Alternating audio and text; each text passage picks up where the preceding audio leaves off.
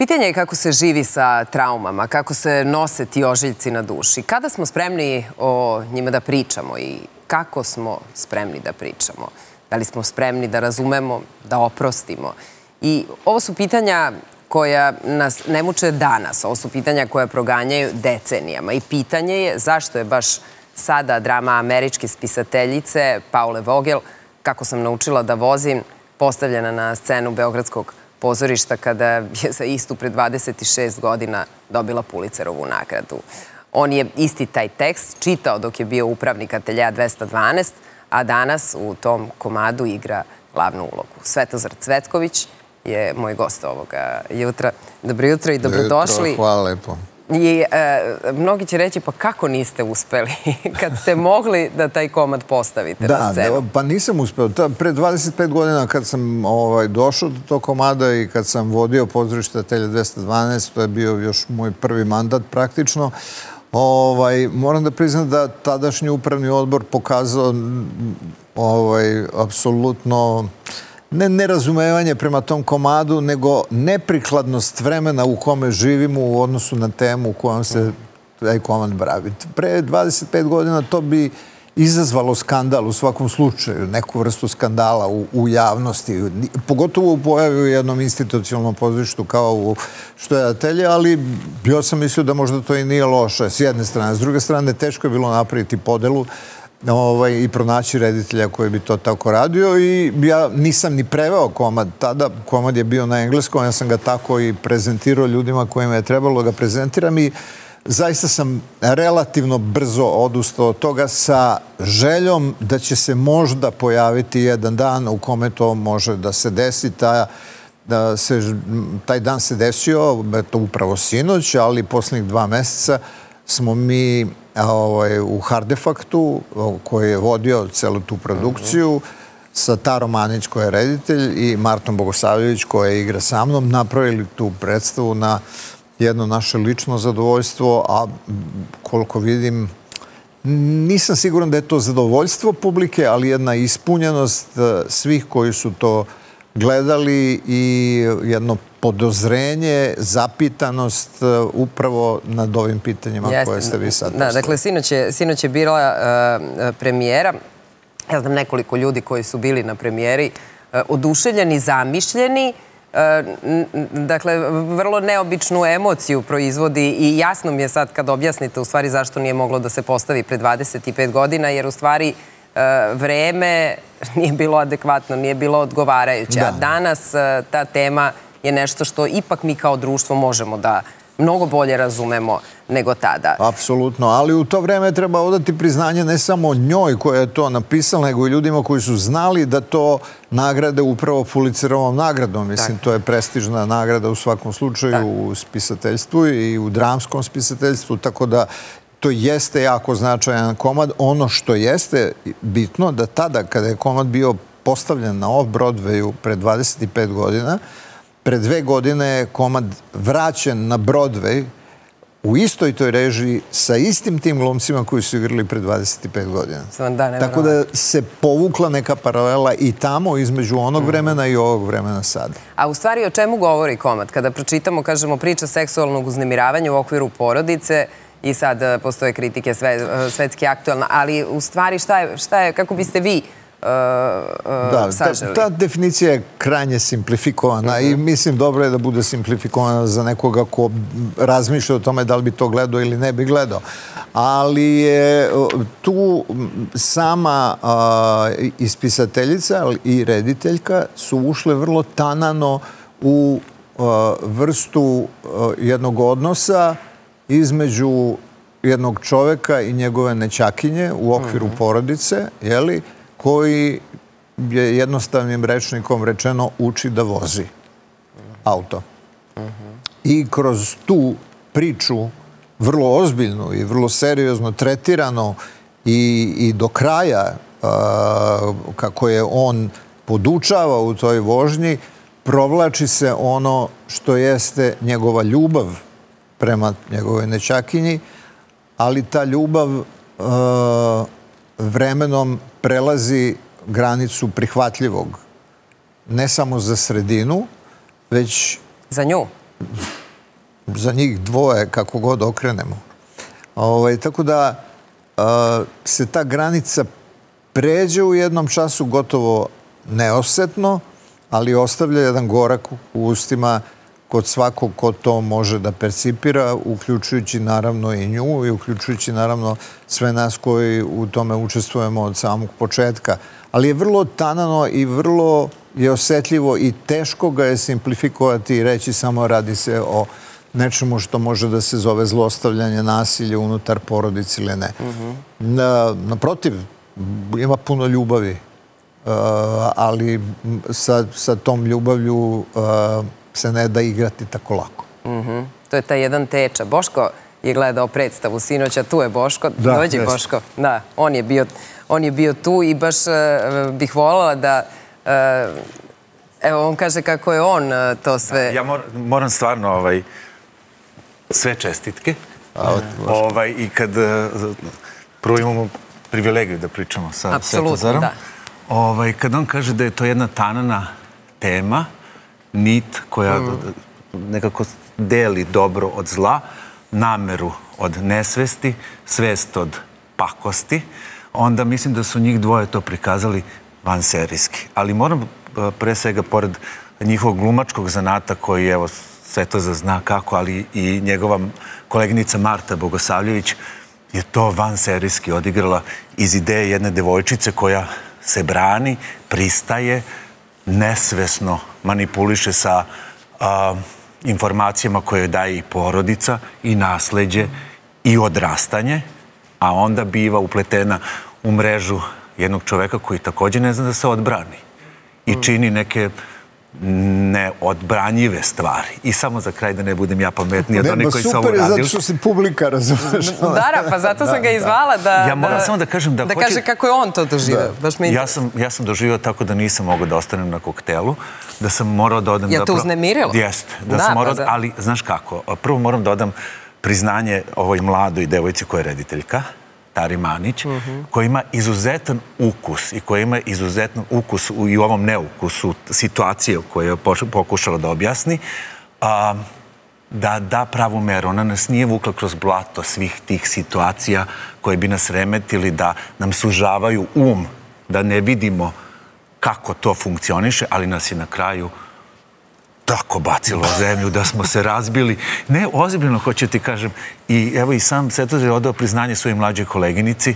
Znaš, nije tu bilo ni fizičkih puno kontakata, ni sa sve sve nekako naglašeno, sve razumeš, učeštuju sve i na kraju bilo me sramota, rasplako sam se onoliko, ali me nije sramota suštinski, sam osjetio svu težinu te situacije. Ali veruj mi, neodbranjivo je kad kažem i, i, i tvog lika. Da. Eto, ba, dobro, ali kao, valjda je uh, u stvari najvažnije kako publika, uh, šta publika ima da kaže. I da li ovo što Boško je sada uh, rekao, da li mislite da, da će to tako svako doživeti?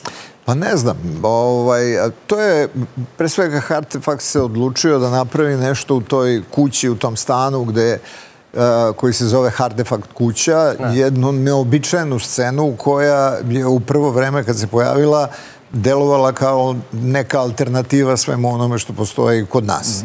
Ali sad lagano, posle nekoliko naslova koji su vrlo ambiciozni, vrlo umetnički okrenuti, vrlo aktuelni u svojim temama, ja mislim da se tu pravi jedna čvrsta institucija jednog kvalitetnog artističkog izraza i pozorišta, I strašno mi je drago, pre svega tu uđe malo ljudi, 80-ak ljudi recimo. A i mali je prostor na kojem vi igrate. Jeste mali prostor, ali za tih 80 ljudi vi igrate na razdaljeni od pola metra i onda je to potpuno drugačije nego kad ste na sceni i onda je reakcija i publike, ovo o čemu Boško govori, ovaj, potpuno drugačija nego što bi ti to bilo na nekoj normalnoj sceni, sceni koju tipa makar i maloj sceni. A kako igraš kao glumac? Čekaj, Meni je to... Pogledaj, kažem na zanimljivu situaciju. Ponekon. Znaš, ti sad vidiš uh, igra Svetozar Cvetković i stvarno ne bi ja da mu komplimentiram, dovoljno zna koliko zna da glumi, ovaj, ali ovaj, pored njega sedi Luka Grbić. Znaš, to je sad nadolazeća jedna nada domaćeg pozorišta. Ali Luka Grbić sedi ovako, sad Svetozar priča tamo ili tu okad publici. Mi smo uvučeni u sve to, iako ne, nemamo uloge. Tako je. Znaš, a Luka Grbić ga ovako gleda. od ozdo. Ja se zrazim, kako sad on glumi kad ga ovaj gleda odavde? Pa. Ali to je, znaš, to je kao ideja sad, ti uzimaš i daješ i crpiš informaciju kako sve može nešto da se izvede. A ovo je bilo fantastično izvedeno. Da, to je ovaj, dobra observacija sa, sa Lukom. Da, na kraju kraja nas dvoje kad izađemo na svemu vidimo ko gde sedi. Mislim, ja sam vidio i gde ti sediš i sve, ono, apsolutno. I sve, svakog mogu pogledati u oči. Pa sad kad sam rekla, bio je Boško, kaže da, video sam. Pa da, svako može da te pogleda u oči, ti svakog može da pogledaš u oči, ali ovaj, Ono što jeste bitno, apropo ovog pitanja, da li je tu publika presudna u reakciji ili nije i kakva će im reakcija biti, ja sam, dok smo ovo radili, nekako prvi put osjetio nešto što su mi moji prijatelji, ja veliki filmski reditelji, Makave, Žika Pavlović, recimo, ili Miša Divojić, pričali da film, kad prave, prave ga pre svega za sebe. Na kraju krajeva i Lordan je ovdje pričao o tome. Mhm. I moram da priznam da i ovo kako smo radili i kako smo stav gradili kroz to što smo radili, radili smo za sebe zbog svoje čiste savesti, zbog okruženja u kome se nalazimo, zbog svih događaja koji nas okružuju, zbog zida čutanja koji je postojao, koji se na neki način probio i zbog toga što na kraju krajeva i neka publika aktivno učestvuje sa nama u tome. Jer ne može pasivno da gleda, ne može da žvaće žvake, da čita nešto, da piše SMS. Ne može ništa. Ili da priča, ko što Jezdić kaže. Ili da priča, sve. Ne može ništa. Tu smo. I tu su oni, tu smo mi. I onda reagujemo jedni na drugi. A kako će mlada, mlada devojka koja dođe da tinejdžerka, koja dođe da pogleda uh, predstavu, šta će razumeti? Šta mislite? Sve. Pa evo, Boško, pa ne, sve... Će... Evo, ja, ja sam, pa ja sam pomislio da treba da svoje dobiti... sestre čini da kupim kartu. Da, da pa da li će dobiti hrabrost da ne daj Bože ako ima neke dileme u životu, šta je u redu, šta nije u redu, da se dešava nešto, jer mladi ljudi ni ne razumeju da li je nešto što im se dešava u tom momentu da. skroz u redu, jel? Pa zato što... I jer će dobiti ohrabrenje neko? Pa ja verujem da da. Mm Ja verujem da da. I ukoliko se neko odluči da dođe gleda to, ukoliko mu majka ili otac ne zabrane ili ne znam, ono, kako god okrenemo. Da, ali, ali nema ovdje toga što bi bilo brutalno i rogobatno da neko ne može da pogleda. To postoji Ima. mašta koja, zahvaljujući tim malim sitnim provokacijama mm. koje postoje na, na sceni, apsolutno uđe, ta mašta apsolutno uđe u prave mm. slike događaja. Ovaj, u toj predstavi. I mislim da, da je to nešto najvrednije i rediteljski napravljeno u ovoj predstavi. Uz ovo što ovaj, eh, je Boško rekao, jednu vanrednu pojavu, jedne vanredne mlade glumice kao što je Marta Bogosavljević, koja, ja verujem, na ovaj način ulazi na jedna velika vrata u nešto što je pozorišni svet eh, kod nas i to potpuno zasluženo. Eh, koliko se igra? Koliko ćete igrati često? Pa evo igramo sad e, dva puta ovog mjeseca, dva puta sljedećeg mjeseca. Ovaj, pa ćemo vidjeti dalje. 22. 25. Tako je. Ja moram tražim karte za sve one kojima sam rekao treba da idu pogleda. Ozbiljno, pa to mora se pogleda. Znaš, iz našeg posla to mora se pogleda. Znaš, da, da mislim, uđeš u, u, u neke suštine i u neke sive nijanse nekih i neželjenih i željenih situacija. Da i nevinih i krivih i onih koji su i nesvjesno krivi i, a, i nesvjesno, možda, možda, možda, a nisu nevini. Da. Niko... da. Pa dobro, da. E, a ja sam htjela uh, još uh, o ruskom konzulu da... E, ja odoh onda. Ja, ja samo moram da kažem da na Oskaru je uvedena kategorija za dobar kast sljedeće godine. Dobro. Ja mislim da bi ovaj ruski konzul dobio dve nagrade na e, za najbolji kast. Pa kako ti kažem, svaka, svaka, svaka scena sa njih trojicom i sa celom ekipom koja je tamo jedno malo tako umetničko delo. E sad, kome, kome se film sviđa, ne sviđa, to je sad druga stvar. Da li ima, da li ima tu težinu koju je moglo da ima onda, da je prikazano onda nekada. Da. Ili sada, to je opet... Znam, ali i sad je moment, je vrlo specifičan. Imamo 20 godina od pa, uh, ovog smo... Uh, martovskog pogroma. Dakle, nije, nije uopšte ovo... Jer postoji ta priča, uh, da li je možda vreme u to vreme kada je Lektić i hteo da se snima, e, pa nije moglo da se snima zbog Lauševića, da li je to bilo možda više odgovarajuće vreme?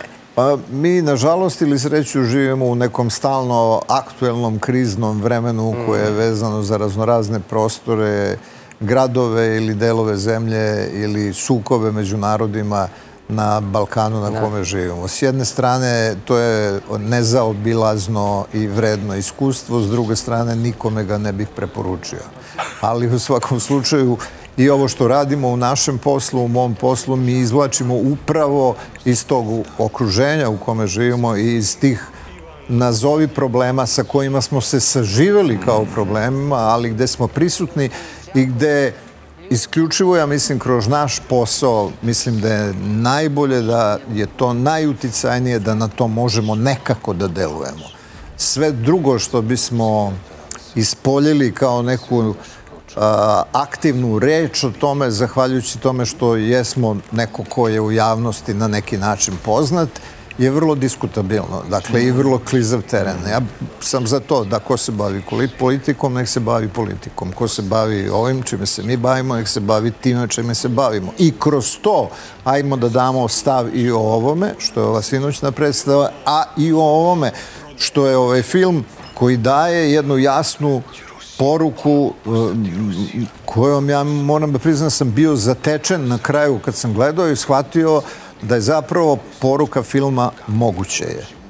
Samo, samo je moguće. Nemojte da govorite da je nemoguće, jer je moguće. Samo pružite jednu ruku i čekajte da vam se druga ruka vrati. Nađite neko ko će da vam pruži tu ruku. Ako je to moguće u jednom zatvoru, u filmu koji je zabela i ako je moguće između jednog eh, vrhunskog doktora i jednog uh, vođe albanskih zatvorenika, da oni funkcionišu kao braća, zašto ne bi bilo moguće van zatvora, nego samo u zatvoru. Mm. Tako da mislim da ta poruka koju taj film šalje ovaj, u svu epiku jedne priče koja nas vezuje za neko vreme koje danas nazivamo titoističkim i posttitoističkim vremenom, jer se tu prelama film, ja mislim da su se mnoge greške počinile, a da je dobar put ovaj e, kojim je i Lekić krenuo da, da napravi taj film i on sam posle toliko dugo čekanja, toliko dugo godina nakon noža koji smo napravili isto tako zajedno ovaj, i da šalje jasnu poruku. Da. Mm. Si teo nešto? Je, jesam, ovaj, osim toga što je, jeste, sad sam rekao da film nudi nadu da, da je, da je ipak nešto moguće. Ne mora uvek da bude dobro, pa ne da uče nas da ne mora uvek, ali možda je moguće. Sa druge strane, on igra čoveka koji i po pripadnosti i po onome šta jeste trebalo bi da bude Znaš, oni mi imamo dobre i loše. Moralo bi da bude loš. A negde on iz nepristajanja da bude loš na kraju i umire u tom filmu. I to je jedna nada. Nismo svi ni loši ni dobri. Ima nas dobrih i loših svuda. Samo nekako treba da gledamo na te dobre odoh. Ja puno sam pričao ovdje kod tebe. Ne, nis je, evo, pa mislim, i pri kraju smo, ne. Idem da se spremim za svoju najavu. Ajde, da, ajde. Hvala ti puno što dolaziš kod nas. Da, i... Ma, me, mislim, meni je uh, interesantno u stvari da je možda uh, taj film jako dobar za one koji ušte ne razumeju šta je problem. pa da, pa, tačno to, zato što mnogo je godina prošlo i došle su neke generacije koje ništa ne znaju. To, pa da ti kažem, i ovo kad pogledaju, možda će da kažu, da, čekaj. stvori neku sliku. Tako je. Pa da. Malo da, da, da razmislim, da malo pročitam, da malo uh, u, u, u tome svemu gde sam toliko zadrta ili zadrt, da. da shvatim da ne mora baš Ja moram da priznam, ja sam pre dve godine radio jedan projekat u Prištini koji je trajao dosta dugo, jedno dva meseca. Ovaj, i, I ja sam shvatio tamo uh, da ljudi nas doživljavaju strašno. Mislim, ljudi tamo misle da ovde mi hodamo po terazijama sa iskeženim zubima, ovaj, želeći da pojedemo pripadnike drugog naroda koji uzima teritoriju naše zemlje. S jedne strane. S druge strane, a, ljudi odavde nemaju nikakve kakvu predstavu o tome kako to tamo izgleda. Ovo što mi dobijamo sa ekrana, to nije prava slika o tome. To, to nije prava slika ni tog grada. Uh, mi kad kažemo Gračanica, mi mislimo sad sam došao u Prištinu, pa ću ja sada do Gračanice da prođem pet punktova nekih do će neko me. To Gračanica je kao od Slavije do Terazija. Mislim, i to tako jednim putem se ide i onda odjednom vidiš, plaća se dinarima i čirilično je pismo i vidiš i manastir i sve tu i vidiš najbolji restoran u Prištini, ovaj, etno kuća, gde dolaze svi iz Prištine da jedu, gde konobari govore, naši konobari govore albanski sa albanskom klijentelom i gde sve to funkcioniše. Dakle, upravo je moguće. Dajte samo da se napravi neki normalan život i bit će sve drugačije. Tako je, da. Ima naravno i onih stvari koje nisu e, takve. Dakle, e, da, da ne... Ima da ko neće. Da, da, pa jeste, ali i, i treba negde da stvarno shvatimo da nek se napravi neki reset e, i nek se, nek se pruži jedna ruka pa Pa dobro, to, eto, zato ovaj film nekako i postoji. Da. E, mnogo vam hvala na, na gostovanju i e, srećno i artefakt i da pogledate ovu priču zato što možete mnogo toga da, da osetite i naučite. Vidimo se ponovo i sutra. Tu je Boško sa Jelenom. Prijatan dan. Mi smo K1 televizija. Gledajte nas na ovim kablovskim operaterima.